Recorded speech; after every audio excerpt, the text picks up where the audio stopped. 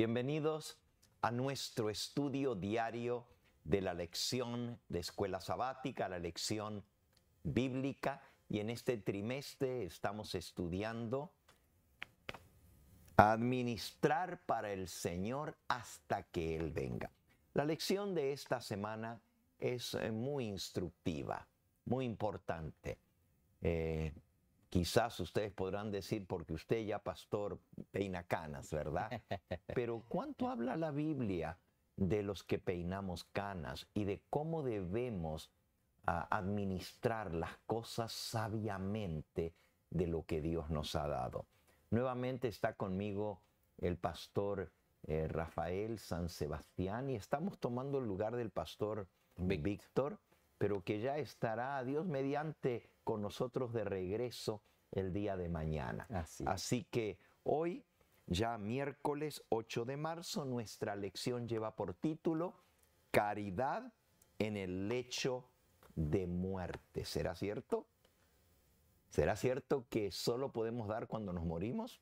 ¿Mm? Vamos a orar que el Señor nos guíe. Pastor, guíenos. Vamos a orar, acompáñenos.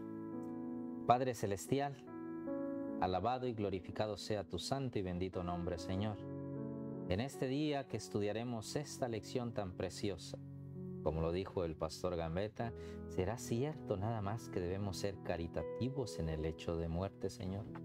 ¿O tú qué nos hablarás en este día? Permítenos que lo que hoy vamos a escuchar, Señor del cielo, podamos ponerlo en práctica en estos momentos que estamos con vida.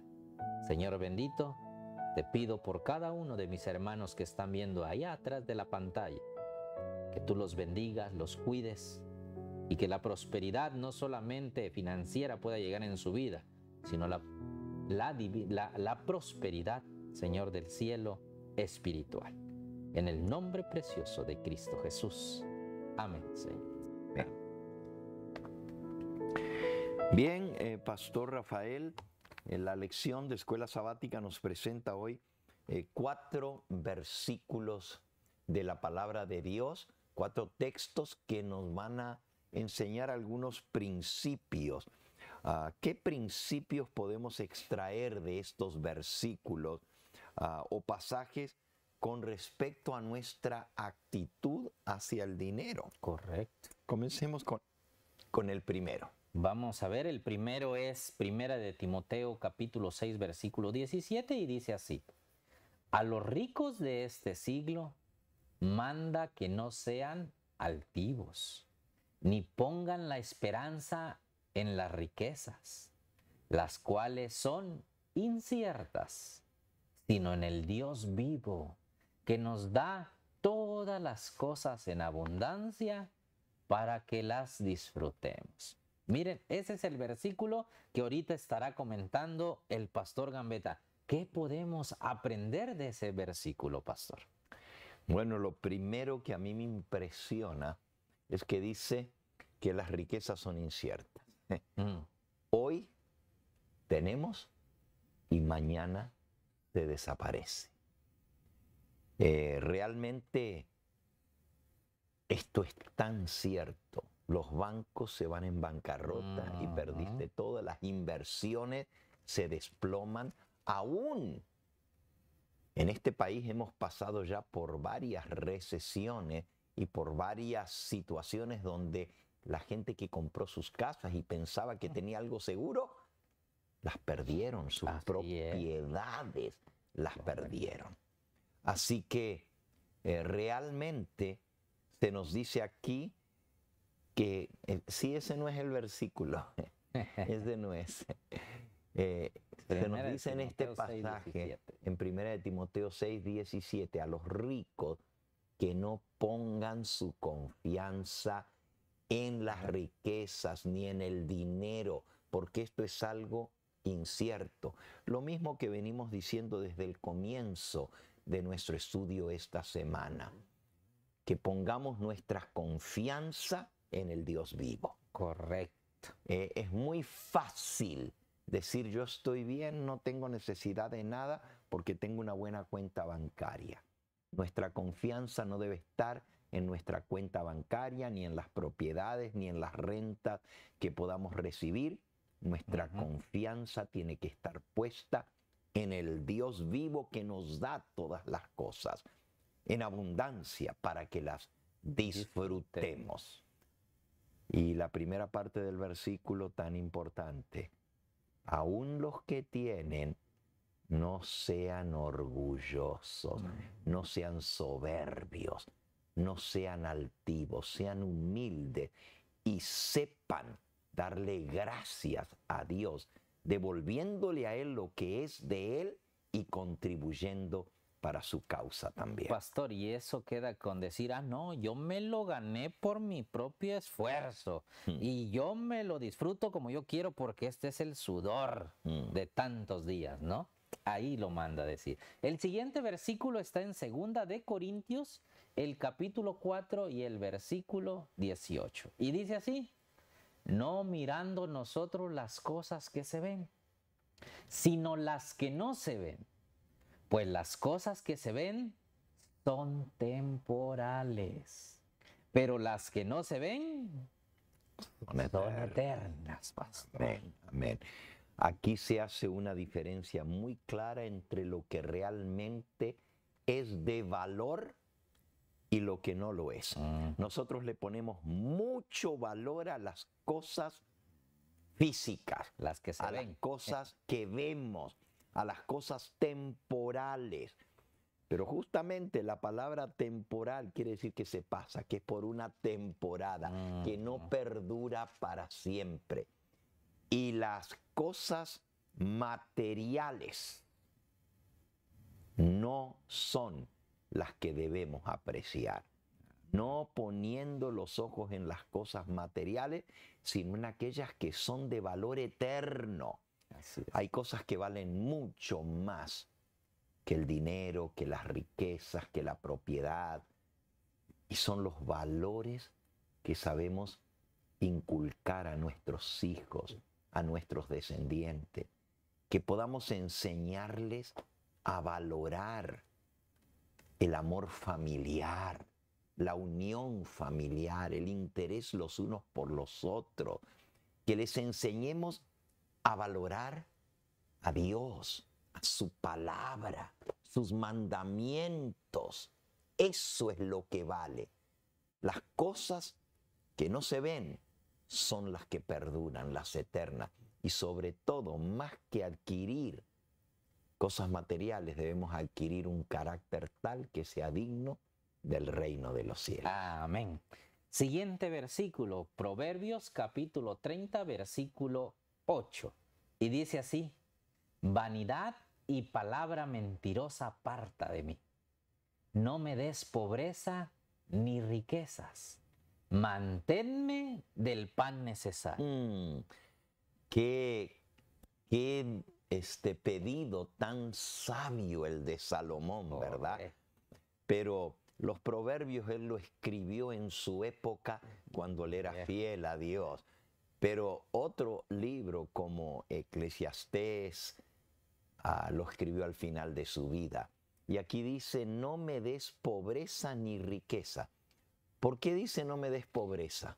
En el versículo 9 lo aclara, pastor. Vamos a ver versículo 9 de Proverbios 30. Fíjense que dice, ¿por qué él no me dice no me des pobreza ni riquezas? Proverbios. No, más el pan necesario. Correcta. Dice, no sea que me sacie y te, niegue, y diga, ¿quién es Jehová? O que siendo pobre hurte y blasfeme el nombre de mi Dios. Así que, Señor, dame lo necesario, ni más ni menos. Porque si tengo menos, puede ser que blasfeme contra ti. ¿Por qué? ¿Por qué no tengo ni para comer? Correcto. ¿Eh? Que diga, me tengo que ir a robar ¿Mm? porque no tengo cómo mantener mi familia. Pero también si tengo de más, uso eso para que me dé seguridad a mí en lugar de confiar en el Dios que me dio las cosas. ¿Qué, qué consejos tan sabios sobre la administración del dinero y los valores como deben estar en nuestra vida. ¿Cuál es el próximo? Y el siguiente y el último versículo es Eclesiastés capítulo 5, versículo 10. Y dice así, Eclesiastés 5.10, usted lo está viendo en pantalla y dice, el que ama el dinero no se saciará de dinero. Y el que ama el mucho tener no sacará fruto. También esto es vanidad. Ah, nuevamente, el que tiene, más quiere. El que ama el dinero, nunca está contento porque quiere más. Correcto. Y el que ama el mucho tener, no saca fruto de ello, porque no está contento. Pidámosle a Dios que nos dé contentamiento con lo poco o lo mucho que tengamos. Ah, el apóstol Pablo escribe de esta manera en su epístola a los filipenses, en el capítulo 4, Filipenses 4, dice, versículo 12, sé vivir humildemente y sé tener abundancia. En todo y por todo estoy enseñado, así para estar saciado como para tener hambre, así para tener abundancia como para padecer necesidad. Todo lo puedo en Cristo que me fortalece. El contexto de este versículo tan conocido, de todo lo puedo en Cristo que me fortalece, es que estemos contentos con lo que tenemos. La felicidad, como ya lo leímos, no lo da el dinero, al contrario, el que más tiene, más quiere. Y nunca es feliz, porque quiere más. Y no da fruto, dice pastor. ¿Sabe por qué no da fruto? Porque nunca va a querer dar, sino todo para mí. ¿Dónde lo voy a guardar? decía los versículos, ¿verdad? Y, justamente ahí en Filipenses 4 eh, habla del fruto. Un poquito más adelante, leímos ahí hasta el versículo 13, tan conocido, ¿verdad?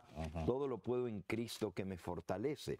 Pero dice en el versículo 17, no es que busque dádivas, sino que busco fruto que abunde en vuestra cuenta. ¿Y cuál es el fruto del que tiene dinero? que sepa dar. Las dádivas dan fruto que abunde a nuestra cuenta. Pero el que más tiene, más quiere y menos da. Correcto.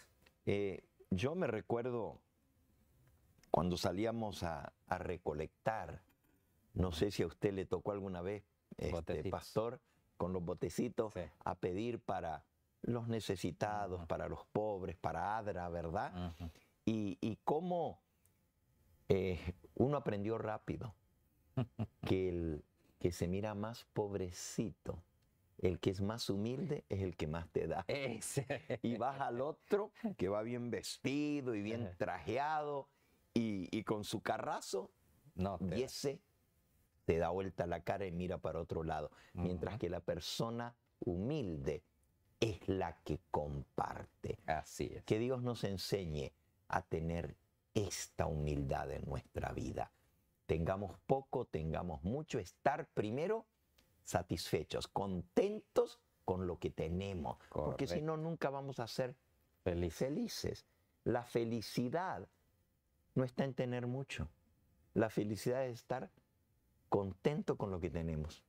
Correcto. Esa es la felicidad contentarnos con lo, que tenemos, porque el rico puede tener muchísimo y no ser feliz.